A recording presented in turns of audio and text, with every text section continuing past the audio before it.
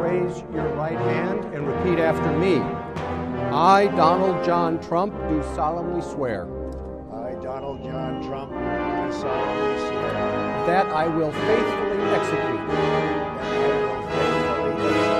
the office of President of the United States and will, to the best of my ability, will, to the best of my ability, preserve, protect, and defend preserve, protect, and defend the Constitution of the United States. So help me God.